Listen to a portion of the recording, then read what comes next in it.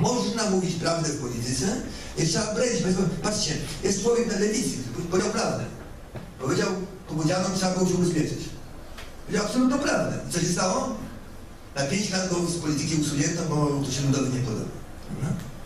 To prawda. Otóż oni uważają, że nie można ludziom mówić prawdy. Trzeba bredzić.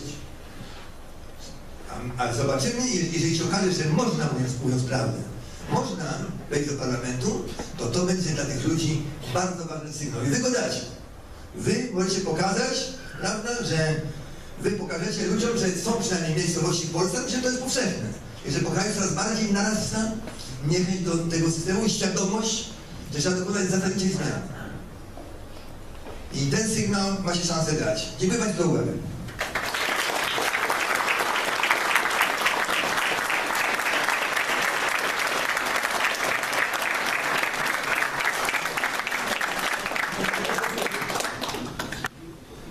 To teraz przechodzimy do części drugiej, czyli pytań z publiczności. Jest nas sporo, będę starał się z mikrofonem dochodzić. Przyjmiemy formułę taką, że zgłaszamy chęć zadania pytania podniesioną ręką. Nie będziemy tutaj robić jakichś dziwnych zabiegów ala PiS, że piszemy na karteczkach, losujemy pytania. To nie ta partia. Więc e, czekam pierwsze pytanie z sali.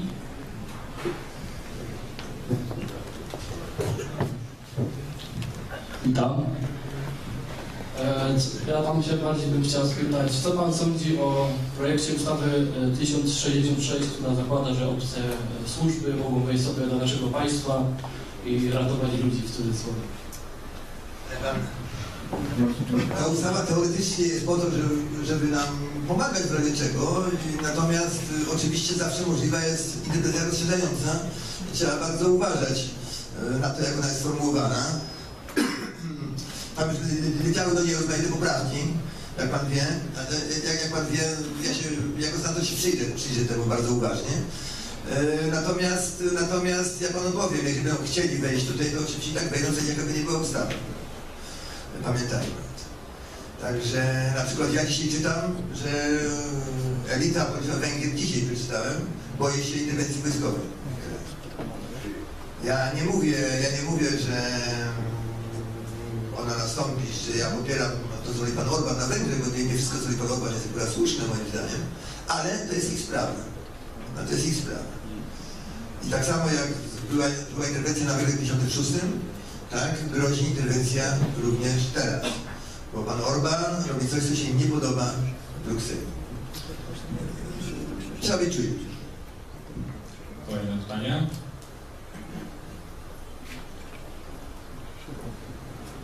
Nie ma się co bać, śmiało.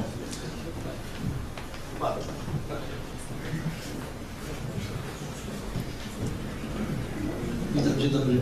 Chciałem y, z Pana zapytać, co Pan sądzi o ustawie zamówień publicznych? Czyli? Ustawa o zamówieniach publicznych. Ustawa o zamówieniach publicznych preferuje najniższą cenę. Najniższa cena jest dla gospodarki fatalnym rozwiązaniem, gdyż najniższa cena to jest najniższa jakość. Z drugiej strony firmy nie płacą podatku, bo z najniższej ceny to zysku nie ma. W związku z tym, co Pan zamierza zrobić, żeby ustawę zmienić i zmienić podejście zamawiających do oferentów we wszystkich branżach? Proszę pana, jak mówił, to jeszcze nieraz to dzisiaj wyjdzie na tej sali, odpowiedzi na pytania, założyciel naszej partii Stefan Kisielewski świętej pamięci mówił, socjalizm jest to ustrój, w którym bohatersko pokonuje się problemy nieznane w żadnym innym ustroju. Jeżeli pan prywatnie by zamawiał robotę, to pan by nie miał tego problemu, prawda? Pan się kieruje i ceną i innymi rzeczami.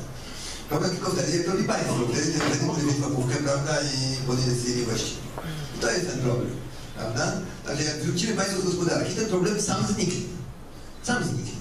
Prawda? I tyle. Znaczy nie będę mówił bez gangu, to nie ma co, tak jak ten Herkules bym to ręcznie to wszystko chciał. Nie ma co, trzeba puścić na wolny rynek i koniec. No bo, y, y, k- jeszcze można chwileczkę. Y, Kraje dojrzałej demokracji dawno się wyleczyły z tym najniższym. W związku z tym, Ale skąd wszędzie są łapówki, wszędzie jest korupcja plebana. Wie pan ile ukradli na budowie stadionu olimpijskiego w Londynie? Jeszcze więcej niż u nas. Wie pan co to jest partnerstwo publiczno-prawne? To jest specjalna instytucja po to, żeby można było kraść. Tak się specjalnie została tak skonstruowana. Ale tylko chcę dopowiedzieć, bardzo. ja chcę dopowiedzieć e, do Pana, że wojsko musi istnieć, tak? Mhm. Więc też musi gdzieś zamawiać towar i też muszą być przetargi do Niestety, proszę Państwa, oczywiście yy, pewne rzeczy musi zamawiać państwo. I trzeba się liczyć, że y, będzie korupcja. W Ameryce, która była krajem purytańskim w wieku XIX, na dostawach do wojska zawsze była korupcja. Zawsze zamówiono 100 człowiek. Ale pan się więc- pytał, co zrobić, żeby była najniższa. Ale właśnie, to- żeby, żeby to tylko wojsko i policja, będzie tam korupcja, ale będzie, no wie pan, jeżeli ukradną 2% z, z 5, no to jest niewiele. Jak kradną 10% prawda, z 90%, no to jest znacznie więcej. Oczywiście, zawsze, powiedzmy jasno, nie ma systemu idealnego. Zawsze, proszę pana, jakieś nieszczelności będą. Trzeba się z tym po prostu pogodzić. Ale musimy to ograniczyć, żeby to było minimalne. Kolejne pytanie, proszę. Co Pan sądzi o długości pracy kierowców zawodowych? Bo to, to się liczy przecież teraz normalnie, żeby pracować do 67, a wiadomo, że kierowca zawodowy to jednak powinien być sprawny fizycznie i. Wie pan, ja jestem kierowcą i wiele razy prowadziłem pojazd w stanie dużego zmęczenia i naprawdę byłem zagrożeniem dla siebie raczej, bo patrzałem, żeby prawda, czego do rowu jechać, ale, ale zagrożeniem oczywiście byłem. E, natomiast e, właściwie to oczywiście nie są, nie, nie są ustawy, tylko bardzo duże odszkodowania za spowodowanie wypadków. Bo dzisiaj wie co jest główną przyczyną wypadków, wypadków drogowych? ubezpieczenie. Jeżeli spowoduje wypadek, to ten cały koszt ponosi są inni ubezpieczeni, a nie ten, który to wypadek spowodował. I to powoduje absolutną beztroskę. Gdyby ta firma samochodowa nie była ubezpieczona, o, to ona bardzo by dbała, żeby kierowca nie powodował wypadku. To byłaby ruina dla firmy. Prawda? I to trzeba zrobić. Trzeba zlikwidować ubezpieczenia samochodowe. One są główną przyczyną wypadków drogowych. Ubezpieczenia są potrzebne oczywiście, jak to chce się ubezpieczyć, ale od skutku wypadku. Jeżeli ktoś mnie ubije, to wtedy jestem ubezpieczony, jeżeli się dotyczy oczywiście, to wtedy ja dostaję odszkodowanie od firmy, a ona ściąga od sprawcy. Prawda? Tak jest oczywiście. Natomiast nie może być tak, żeby ludzie się składali na yy, cudze, cudze przestępstwa. To lub mało o tym mówię, to jest główna przyczyna wypadków drogowych. To są ubezpieczenia. No, ale to jest sprawa, której chyba nikt nie przebaczy. Ale to Tego nie przebaczy. o to, tylko Ja wiem. chodziło Ja wiem, o co o chodzi, ale- kierowcy No to ja wiem, ale to, ale to nie jest dla mnie w dobre. latach, że on jak jest po. 67, to, to właśnie o wiek emerytalny chodzi. Dlatego, że Ale chodzi o wiek emerytalny kierowców. tak, wiek emerytalny kierowcy. Czy to chodziło o godziny pracy kierowców? Nie, A wiek emerytalny kierowców. po jakimś czasie. Yy, Pan o podniesienie wieku, pana, nie, nie, to jest sprawa ogólniejsza znowu. Jest oczywistą rzeczą, że podniesienie wieku jest niedopuszczalne z powodu dla kierowców, tylko w ogóle jest niedopuszczalne.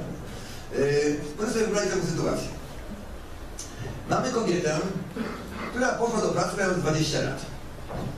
I ona zapłaciła pierwszą składkę i w tym momencie ona zawarła umowę z ZUS-em, że jak skończy lat 60, dostanie emeryturę. Taką umowę zawarła po tą pierwszą składkę. I ona ma lat 30, 40, 50, ma 59 lat. I teraz to jest bardzo lepska kobieta. Ona sobie postanowiła, że za rok pojedzie na wymarzoną wycieczkę statkiem na dwa lata naokoło świata. Każdego stać na to. Dwuletnia emerytura plus wynajęcie swojego mieszkania na dwa lata akurat starczy. Ona wynajęła już swoje mieszkanie na te dwa lata, ona opłaciła tę wycieczkę, wzięła pożyczkę po podobnej emerytury, a tu nagle się dowiaduje, że niestety emeryturę to będzie miała nie jak ma 60 lat, tylko załóżmy 62 albo 3. No, to jest naruszenie jej praw nabytych. Zresztą niedopuszczalne podniesienie wieku emerytalnego. Można to zrobić, ale dla tych, którzy zaczynają pracę, od teraz zaczynają. Ja 20 lat temu się domagałem jako poseł, żeby podnieść wiek emerytalny. Ale nie tym, którzy, y, którzy mają lat 60, 65, tylko tym, którzy dopiero idą do pracy. Gdyby to zrobiono 20 lat temu, to dzisiaj byłoby, byłby problem o połowę mniejszy. Ale wtedy to nikogo nie, nie interesowało. Dlaczego? Bo w demokracji nikogo nie interesuje, co będzie za lat 20. W demokracji przywódcę partii interesują tylko najbliższe wybory. Nic innego go nie interesuje. Ustawę uchwala pod kątem nie, żeby było dobrze dla państwa, tylko żeby jego partia dostała najwięcej głosów w przyszłych wyborach. Dlatego wszystkie demokracje padają w ubocie i korupcji, bo taka jest nie... Jeżeli polityk by robił co innego, to by przegrał z partią, która właśnie tak działa. Wszystkie partie muszą działać pod kątem, żeby zrobić dobrze dla partii, a nie dobrze dla ludzi. Ustrój trzeba zmienić, to znaczy wymaga zmiany ustroju, oczywiście też mówiłem na początku. Kolejne pytanie, proszę. A co Pan sądzi o młodzieży, która kończy szkołę, nie ma pracy, wyjeżdża z kraju, nie, pozostawiając tutaj nic? Wyjeżdżają, po prostu nie pracują, wyjeżdżają za pracą, handel rodzimy upada, y, rzemiosło upadło całkowicie, dobili wszystko, marketu narobili wszystkiego dookoła. Ludzie zamiast pracy, pracować w Polsce wyjeżdżają, a ci, co zostają, idą do marketu, nie zapraszają rzemieślnika, nie idą do fryzjera, sami wszystko sobie robią. To jest właśnie, to jest właśnie typowy, proszę pana, y, efekt działania podatku dochodowego. Absolutnie typowy. Podatek dochodowy zabija dwie. E, do, do, dochodziło do tego w na przykład, że ludzie sami sobie wszystko robili, a ewentualnie się lekarz dentysta umawiał z y, murarzem, że będzie leczył jemu całej rodzinie zęby przez 10 lat za darmo, a za to murarz jemu za darmo budował dom, żeby podatku nie. Rozumiesz? Takie, takie były, to już teraz, teraz się urząd podatkowy wysłaniu, jakoś to okłada, okłada podatki. Pan jak dalej to pójdzie, jak dalej tak pójdzie, to niedługo jak facet w domu żonie zrobi półeczkę, to go opodatkują. Tak, to jest ten. Tak, a jeżeli żona tam z mężem będzie nocą robiła, to policzą ile wzięła jako prostytutka i też yy, doliczą facet taki podatek. No. Ministerstwo Finansów najwyraźniej, najwyraźniej myśli o takich rozwiązaniach. No, ale nie, proszę Państwa. Certyfikat podatek dochodowy, ten problem sam zniknie, rozumiesz no? Żeby to zrozumieć. Przyczyną zła jest system. Nie ludzie, nie szczególne ustawy, tylko ustrój jest absurdalny. Prąd płynie w złą stronę w tym ustroju. Kiedyś za komuny, na przykład, yy, znaczy wymyśliłem takie filmy satyryczne, co nie narysowałem, tego gdzieś mam. Yy, z podpisem na, znaczy ludzie, którzy pchają, pchają samochód i, i napis, a gdyby jeszcze zamiast wstecznego wrzucić przed, przedni bieg, to byłoby lepiej. Otóż my pchamy ten wóz wbrew temu, co się dzieje. Ludzie pracują wbrew logice, bo logicznie biorąc, to powinni przestać pracować. Prawda? No taka jest prawda. Kolejne pytanie, proszę. Jeżeli ceni Pan demokrację, w jakim Pan ustroju chce funkcjonować? W normalnym ustroju oczywiście. E, najlepszym, najlepszym ustrojem, który panował przez 90 parę lat na historii ludzkości, to, była- to była monarchia. E, natomiast możemy się zgodzić ewentualnie na republikę. Nie demokrację. Więc od razu wyrażam, czym się różni republika od demokracji. Otóż tym, że często bywa tak, że lud chce czego innego, a prawo chce czego innego. Otóż w republice e, robi się to, czego chce prawo, a w demokracji wykonuje się wolę ludu. E, Otóż w Republice człowiek jest bezpieczny, no bo wie, że prawo go chroni i no jak lud chce, żeby go studzić o głowę, no to nie da rady, prawda, bo jest e, prawo stoi. A w demokracji człowiek nie jest pewien dnia ani godziny, no bo lud powie, że trzeba na przykład każdemu, kto zarabia powyżej 100 tysięcy na, na, nałożyć podatek, prawda, i już. I z dnia na dzień go oprabują, prawda. Także musi być, no, musi być, e, można żyć w republice, nie można żyć w demokracji. Kolejne pytanie. Dzień dobry, a co Pan myśli o systemie szkolnictwa w Polsce? To samo, co myślałem o systemie karmienia wspólnictwa zbiorowego w PRL-u, proszę pana. E, wtedy padał taki system, tam było takie Ministerstwo Przemysłu, Przemysłu Drobnego, Zgupu i tak dalej. E, I e, tam siedziały takie panie, ich było, pamiętam, taki departament i one ustalały receptury. Nie można było w całej Polsce, w żadnej knajpie, czy prywatnej również, nie można było e, podać niczego, co nie miało zatwierdzonej receptury. Te sześć pań siedziało. No, przez 40 lat układały. e, się receptury, żeby to było smaczne potrawy, jakieś, prawda, miarę tanie, no, no, no, tak. no i one to robiły. Akurat w tej dziedzinie wprowadzono trochę wolnego rynku. Ministerstwo zniknęło. Sześć pań poszło na e, emeryturę i okazało się, że nikt receptury nie zatwierdza, a żywienie jest znacznie lepsze niż było przedtem. Dokładnie to samo by się stało, gdyby zniknęło Ministerstwo Edukacji Narodowej, prawda? I, i, i, tyle. Yy, mnie kiedyś w Byczynie spytał taki e, nauczyciel historii, no a gdyby w jakiejś szkole nauczyciel historii wpadł na pomysł, że będzie uczył wyłącznie o wojnach napoleońskich. Albo dyrektor szkoły by go wyrzucił, tak samo jak y, szef y, y, restauracji wyrzucił kucharza, który będzie podawał wyłącznie gośniki tatarce. Albo szkoła zbankrutowała, albo a, całkiem niewykluczone, że byłoby w Polsce kilkanaścioro rodziców, rodziców, którzy potem dziecko do szkoły, które uczą wyłącznie wojnach napoleońskich. No to byśmy mieli kilkanaścioro wybitych specjalistów od wojen napoleońskich i dziury w niebie od tego by się nie zrobiło, prawda? Także, także przewiemy, że ludzie mają zdrowy rozsądek, ludzie dbają o swoje dzieci, chcą im posłać do szkoły, zapewnić im możliwie najlepsze w ramach swoich możliwości, prawda, y, wykształcenie. A jeżeli ktoś mi powie, że pan minister bardziej kocha moje dziecko niż ja i dlatego on ma decydować o tym, co ma robić, to ja oświadczam kategorycznie, że ten, kto bardziej kocha moje dziecko niż ja, nazywa się pedofil i nie będą pedofile Państwa decydowali o losie mojego dziecka.